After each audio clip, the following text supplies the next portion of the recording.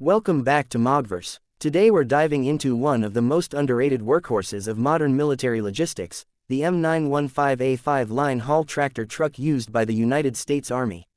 This truck doesn't grab headlines like an Abrams tank or an Apache helicopter, but it plays a vital role in keeping forces moving, loaded, and supplied wherever they're needed. In this review, we'll walk you through every detail, from its engineering and performance to how it's priced and how it fits into military operations in 2025. When people think of military vehicles, they often think of armored fighting machines. But logistics is just as important, and nothing proves that more than the M915 series. The M915A5 is a 6x4 tractor truck built specifically for line haul missions, meaning its primary job is to transport heavy cargo trailers over long distances on roads. It's not a tactical battlefield truck that you'd take off-road into rough terrain, but on highways and improved surfaces, it's one of the most capable heavy haulers in the Army fleet. Wikipedia Plus 1. The A5 designation tells you this is the latest evolution of the M915 family, with upgrades based on years of real-world Army logistics experience. This platform was developed by Daimler Trucks North America in partnership with the U.S. Army to meet modern requirements for power, protection, comfort, and reliability. Unlike the earlier M915 variants which were more basic commercial derivatives, the A5 incorporates additional enhancements and refinements aimed at serious military use.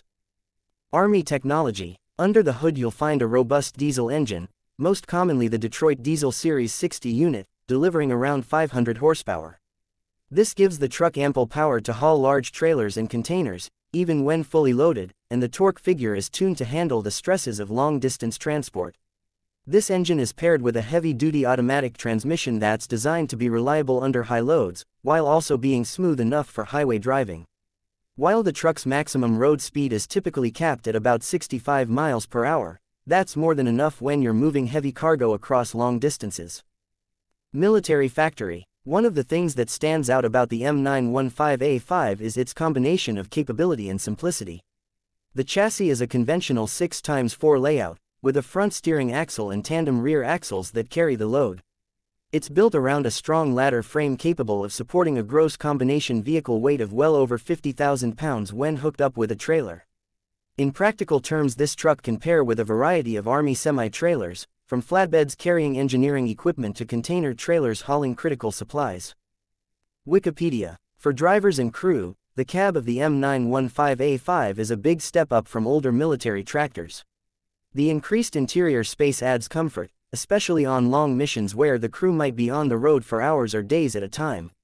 Climate control, ergonomic seating, and tilt telescoping steering systems help reduce fatigue, and the cab design reflects feedback from soldiers who have spent extensive time behind the wheel. Military Factory, safety and situational awareness have also been improved. While this isn't an armored combat vehicle, it does feature enhanced protection compared to earlier models. The A-kit and optional B-kit armor provisions allow the truck to be configured for additional protection if needed, giving commanders flexibility depending on the operational environment. In addition, modern driver assistance systems like collision warning and electronic stability control improve safety on the road, especially when hauling heavy loads at highway speeds. CCJ Digital Off-road performance isn't the primary mission for this truck. Unlike true tactical vehicles with all-wheel drive, this 6x4 tractor is optimized for paved and improved surfaces.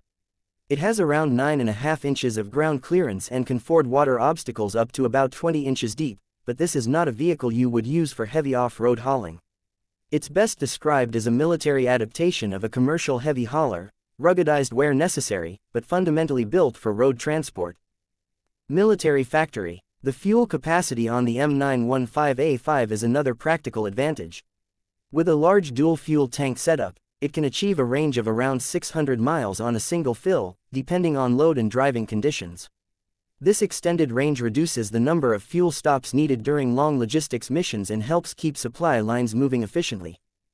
Military Factory Maintenance and sustainment are key considerations for any vehicle in the Army's inventory, and the M915A5 was designed with this in mind. By building on proven commercial truck components and partnering with an experienced manufacturer, the Army benefits from an existing support network for parts and service.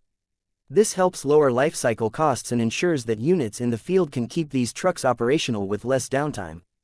The commonality with commercial heavy truck parts also means mechanics who are familiar with civilian Freightliner type systems can transition more easily to maintaining the military version. Army technology. Now let's talk about how this vehicle fits into the broader logistics ecosystem. In today's military operations, the ability to move supplies rapidly and reliably is crucial.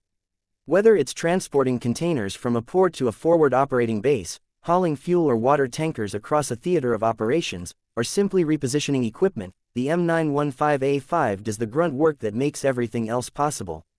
It's not glamorous, but it's essential. Without trucks like this, even the most advanced combat units would eventually grind to a halt due to lack of supplies. Wikipedia. In terms of pricing, exact procurement costs for military trucks like the M915A5 can vary based on contract terms, optional equipment, and support packages.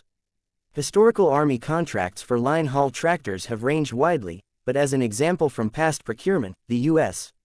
Army awarded contracts totaling hundreds of millions of dollars to produce thousands of units, making the per unit cost fall into the low to mid six figure range.